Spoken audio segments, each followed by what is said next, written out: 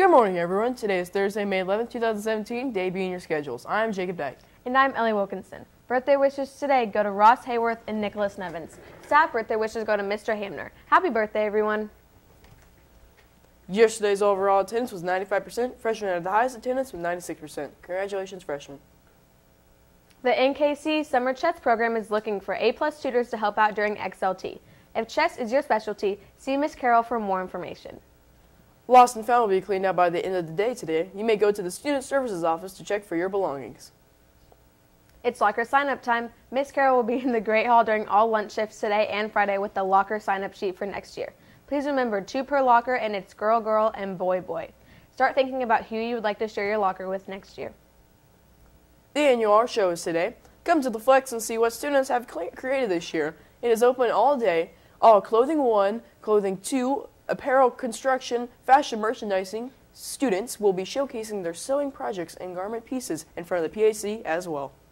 It's springtime and most people are sprucing up their surroundings, but Jacob and Joey are the exceptions. Here they are to show you how to not do your spring cleaning.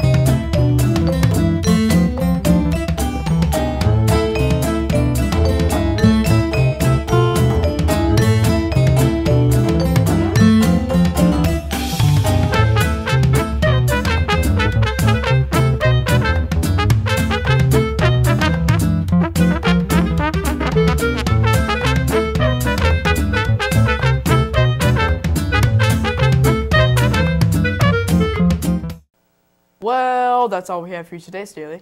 Be sure to check us out on Facebook, follow us on Twitter, and visit us online at StaleyNews.com. And don't forget to check out our YouTube channel for daily shows and more. Have a great day, everyone.